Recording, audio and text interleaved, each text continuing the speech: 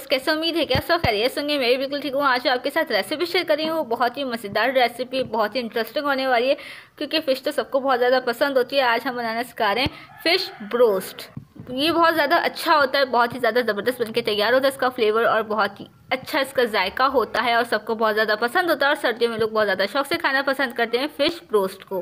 Recipe start करने से पहले आपसे रिक्वेस्ट, हमारे चैनल पर नए आए तो हमारे चैनल को लाइक करें, सब्सक्राइब करें, शेयर करें, कमेंट्स करें, इसी तरह देखते रहे हमारा channel famous food thanks for watching तो चलते हैं प्रॉपर अपनी रेसिपी रेसिपी को करते हैं स्टार्ट फ़िश ब्रोस्ट बनाने के लिए हमने ले लिया है वन के वन के जी हमने यहाँ बॉनलेस फ़िश ले ली है। वन के जी फ़िश लिए बॉनलेस लिए है ये, उसे अच्छी तरीके से वॉश कर लिया है।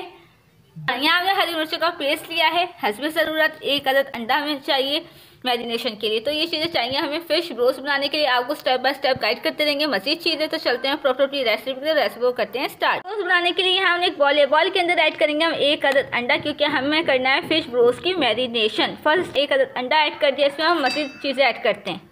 अब इसके अंदर ऐड करेंगे one tablespoon green chilli paste यहाँ हमने वन टेबल स्पून ऐड कर दिया हरी मिर्चों का paste one tablespoon one and half teaspoon नमक या अपने टेस्ट के मुताबिक कम या ज़्यादा कर सकते हैं। यहाँ हमने one and half teaspoon नमक ऐड कर दिया है। ऐड करेंगे one and half teaspoon कुटी हुई लाल मिर्चें। यहाँ हमने one and half teaspoon कुटी हुई लाल मिर्चें इसमें ऐड कर दी हैं।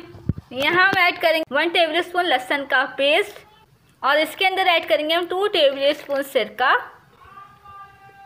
यहाँ हमने टू टेबल स्पून सिरका इसमें ऐड कर दिया। इसे अच्छी तरीके से हम करेंगे मिक्स तरीके से कर रहे हैं मिक्स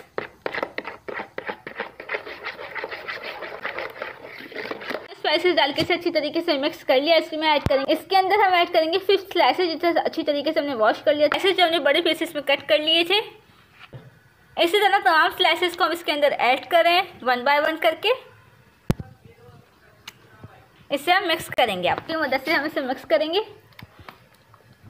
मिक्स कर लिया इसको हम एक घंटे एक घंटे के लिए रखेंगे इसको फ्रिज में ताकि अच्छी तरीके से मैरिनेट हो जाए। एक घंटे बाद फिर आपको दिखाएँगे इसका लुक यहाँ देख सकते हैं फ़िश रोस्ट के लिए हमने फ़िश को अच्छी तरीके से मैरिनेट कर लिया। एक घंटे के लिए इसको हम करेंगे अब कोट किस चीज़ में कोट करेंगे ये आप देखते रहें। फ़िश रोस्ट बनाने के लिए हमने दो कप मैदा लिया है जिसे हमने स्टेनर की मदद से छान लिया है। इसके अंदर हम मछली चीज़ें ऐड करते हैं। करेंगे वन टी बेकिंग पाउडर हम इसके अंदर ऐड कर देंगे डेढ़ टी रेड चिली पाउडर हमने डेढ़ teaspoon red chilli powder इसमें ऐड कर दिया है। देंगे हम डेढ़ टी स्पून गार्लिक पाउडर हमने गार्लिक पाउडर ऐड कर दिया डेढ़ टी स्पून आपके पास गार्लिक पाउडर ना हो तो आप गार्लिक पेस्ट भी ऐड कर सकते हैं। One and half teaspoon नमक, या अपने टेस्ट के मुताबिक। यहाँ हमने डेढ़ टी स्पून नमक ऐड कर दिया है। डेढ़ टी स्पून हमने नमक ऐड किया, डेढ़ टी स्पून हमने पिछली लाल मिर्च ऐड किया, डेढ़ टी स्पून हमने लहसन पाउडर ऐड किया है। इन वन टी स्पून हमने बेकिंग पाउडर ऐड किया है और दो का हमने मैदा लिया। इन तमाम चीज़ों को हम अच्छी तरीके से करेंगे मिक्स यहाँ मिक्स कर रहे हैं इसे अच्छी तरीके से। डालने का इसे अच्छी तरीके से मिक्स कर ले इसके अंदर हम ऐड करेंगे हसबे ज़रूरत पानी। इसका एक बैटर सा तैयार कर लेंगे। ना ज़्यादा थिक हो, ना ज़्यादा थिन हो। एक नॉर्मल सा स्मूथ सा बैटर स्मूथ सा बैटर रेडी कर रहे हैं इसके लिए फ़िश ब्रोस्ट के लिए। फ़िश ब्रोस्ट को हमने कोट करने के लिए यहाँ बैटर रेडी कर लिया। इसमें हम कोट करेंगे और सेकंड कोटिंग कौन सी करेंगे ये भी आपको बताते हैं। आप कनेक्ट रहें हमारी वीडियो के साथ। के लिए यहाँ देख सकते हैं हमारे पास फ़िश हुई है मैरिनेट हुई हुई जो हमने एक घंटे पहले मैरिनेट करके रख दिया था फ़िश को। और ये हमने इसका बैटर रेडी कर लिया फ़िश रोस्ट के लिए। और यहाँ हमारे पास है ब्रेड क्रम जिसमें हमने कोट करना है। सेकंड कोटिंग करनी है इसके अंदर। तो बनाने के लिए यहाँ फ़िश मैरिनेट हुई हुई लेंगे एक स्लाइस लेंगे। यहाँ देख सकते हैं हमने फ़िश स्लाइस ले लिया इसको हम इसके अंदर कोट करेंगे। हम इसे अच्छी तरीके से कोट कर रहे हैं इस बैटर के अंदर। इसका एक्स्ट्रा जो बैटर है, उसको हम रिमूव कर देंगे। थोड़ी देर इस तरीके से रखेंगे तो बिल्कुल निकल जाएगा। उसको हम ब्रेड क्रम्स के अंदर कोट करेंगे। आज ब्रेड क्रम्स के अंदर हम कोट करेंगे।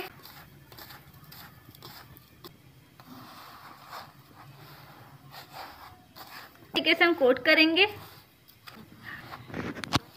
देख सकते हैं, हमने फ़िश ब्रोस को कोट कर मैदे की बैटर के अंदर हमने इसे कोट किया सेकंड हमने इसको ब्रेड क्रम्स के अंदर कोट किया, दो कोटिंग करी है हमने इसकी तो उसको हम करेंगे डीप फ्राई ऑयल के अंदर। हमने ऑयल प्री हीट करने के लिए रख दिया था लो फ्लेम पे उसको हम करेंगे।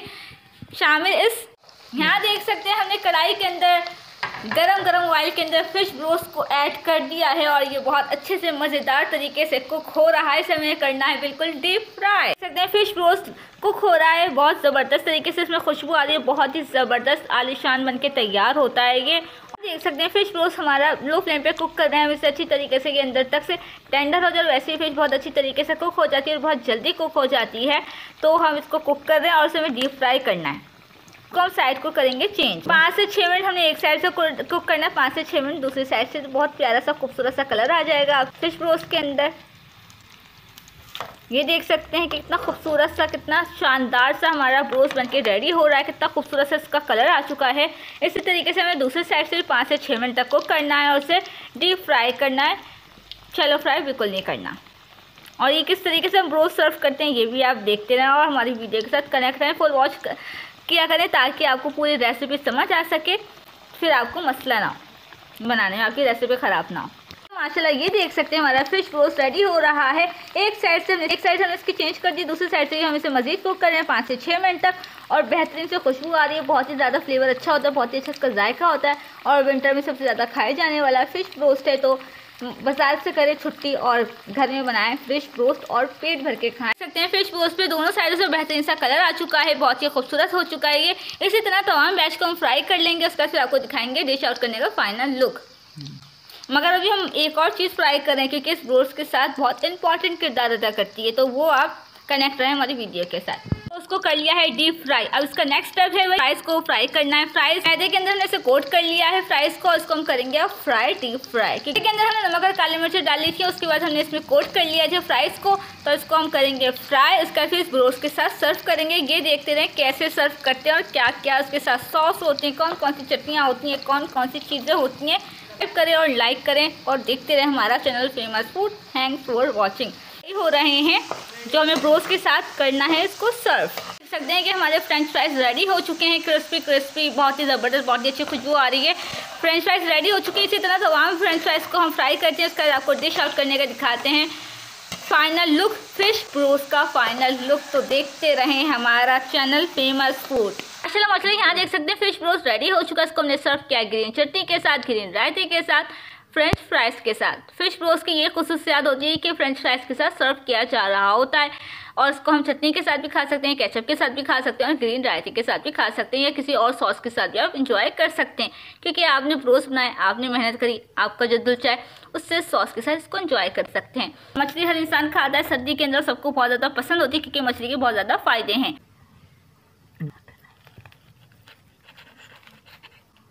ये देखें। चलो यहाँ देख सकते हैं, हमने ब्रोस को अच्छी तरीके से कुक कर लिया टेंडर हो चुका रायते में डिप करेंगे और खाएँगे तो बहुत ही मज़ा आएगा। भाई, बहुत ही मज़ेदार, बहुत ही ज़्यादा फ़िश हमारी अच्छी तरीके से टेंडर हो चुकी है। फ्रेंच फ्राइज के साथ और सब चीज़ों के साथ खाए तो बहुत ही मज़ा आया, बहुत ही आला बनी है।